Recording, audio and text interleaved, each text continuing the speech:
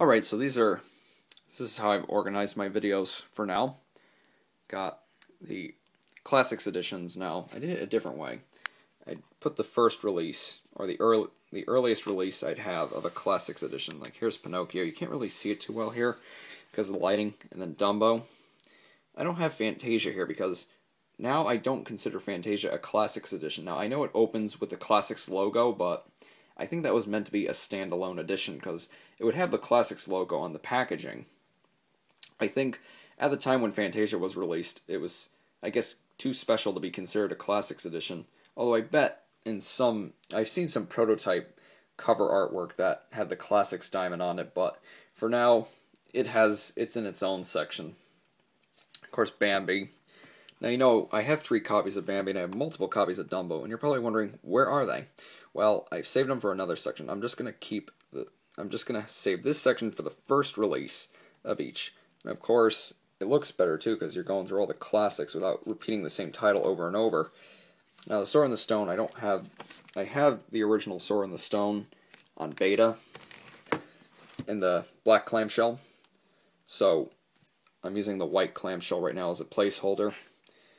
Jungle Book, Robin Hood, of course, no Aristocats or many Adventures of Winnie the Pooh. Those were not Classics editions. Those weren't released in the Classics line. Neither were Black Cauldron or Oliver and Company, Great Mouse Detective, Rescuers Down Under Beauty and the Beast, and Aladdin. Of course, Aladdin was the latest film to be a Classics release. Of course, Lion King would be a Masterpiece edition. Now, here are my my other copies of Classics editions, including reissues. So we got Pinocchio, 1985, and 1986.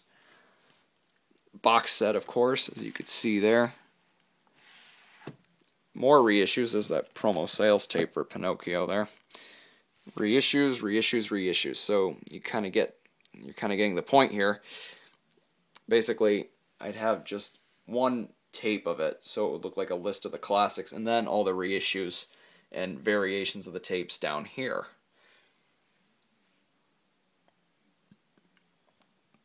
And like I said about Fantasia, I reserved Fantasia has its own section here. The classics release of Pinocchio is not on this shelf. The 1993 one. I still don't consider it a classics edition though, even though it opens with the classics logo. It doesn't mention classics anywhere on the packaging. And the Laserdisc has the Walt Disney Home Video logo, which, thanks to Aubrey S. 1987, he, he told me about that. That's why I don't have it in here. And then I held a spot for a couple cardboard slipcover cases Of course, I got Caballeros and Mary Poppins here. And I've got some of the earlier cardboard slipcover titles, including the Cartoon Classics box set, as you can see here. And then the rest of the shelf are my Blu-ray discs, because those are very important too, since I got this nice big screen TV in here. Figured I'd have my Blu-rays where I can find them. The rest of the videos are in my closet, and they're neatly organized in these boxes. So it's all good. But that's how I have my shelf for now. That's what I chose to display.